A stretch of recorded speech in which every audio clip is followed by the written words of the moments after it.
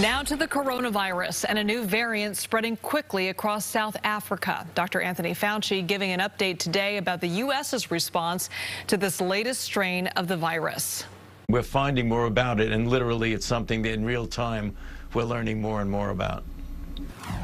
Joining us now live to talk more about this new variant is Dr. Monica Gandhi. Thank you so much for joining us, Dr. Gandhi, and happy Thanksgiving. Thank you, Thank you, you too. now, first of all, the, the new variant, it's called Omicron. Omicron, how are the experts pronouncing it? looks like it's Omicron, Omicron. which is really interesting because the next one would have been nu, but it may sound like nu is too like new. So they went with Omicron. Okay, Omicron. All right. Well, talk about this new strain and how does it compare to the Delta variant? So um, there are two questions about how it compares to the Delta variant. One, remember the Delta variant has been the dominant strain since the beginning of March because that's when it arose in India at a 4% vaccination rate. Omicron is maybe more transmissible with Delta, but we really do need a little more data before we say that for sure. And then the Delta variant has 11 mutations across its spike protein, and the Omicron variant has something like 32. So it does have more mutations across the spike protein. But it does look like the vaccines work well against Omicron. And um, there's a, if we have time to go into it, it's really has to do with the immune system and how our B cells and T cells work. They're very in breadth. And well, so even if you have 32 mutations, they're still going to work. Okay, that's, that's we need to clarify that because I think a lot of people perked up saying, wait, what? There's another scary mutation. I just got my booster. Now my children are getting vaccinated. How worried should we be if, if you're vaccinated, if a whole family that's vaccinated? If you are fully vaccinated, you should not be worried. There are three reasons why.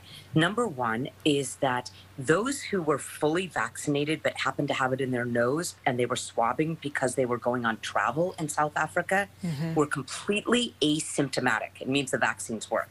Second, the people who had it, who had symptoms, were people who had not been vaccinated yet. So the vaccines, two doses work. And then third, it actually has to do with how your immune system works, but um, essentially the B cells that we make from our vaccines, they don't just produce antibodies. Your antibodies will go down with time.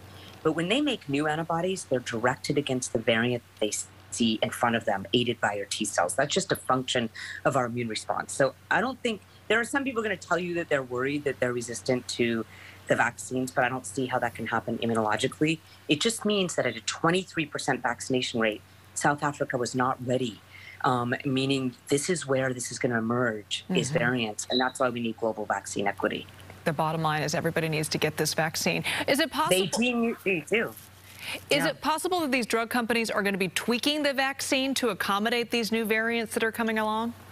So Moderna and Pfizer have already said today that they will make an mRNA vaccine that looks like the Omicron. I don't know if it will be necessary. Again, okay. we are not seeing that uh, that people who aren't vaccinated are getting sick. People who are fully vaccinated are not getting sick. So they're going to be ready, but I don't know if we're going to need it. And how, when we're talking about this new variant as well, is it more deadly? Do we know that yet? Are people getting sicker than they were with Delta? You know, we don't know that yet. And the kind of information we need is how sick are people? How sick are they if they're young? How sick are they older? Mm-hmm. One thing is that usually a variant can't become more transmissible and make you more sick. The Delta variant definitively has been shown it was more transmissible, but it was not more virulent. It did not make people more sick. A CDC MMWR article from a month and a half ago showed us this. So it's very hard for a virus to go both ways. It's like you can't get superhuman. So I think it's going to be more transmissible, but hopefully it will not be more virulent. But we don't have enough information yet. Right. Well, we're at the height of the holiday season. A lot of folks are going to getting together. A lot of folks traveling, coming back with Thanksgiving and Christmas and the other holidays. How do you see this variant impacting travel and family gatherings? I don't see it impacting family gatherings in, in especially in fully vaccinated households. Again, remember that this variant, once you see it in South Africa, it mm-hmm. probably, it was also in Hong Kong and Botswana, it's probably in Europe. But at places where we have high rates of vaccination, the Bay Area, 80%, anywhere that's 75%, hospitalizations are staying very low. And this variant was probably out here even longer than this last couple of days. Hospitalizations will stay low at high places of vaccination. So please try to go to fully vaccinated family gatherings. And if someone's unvaccinated, please do swabs of, of people to make sure that they have no virus around them because uh, those are the people who are most we're most concerned about unvaccinated. Okay, so when in doubt, get a test, especially if you're unvaccinated. Yes. All right, Dr. Gandhi, thank you so much.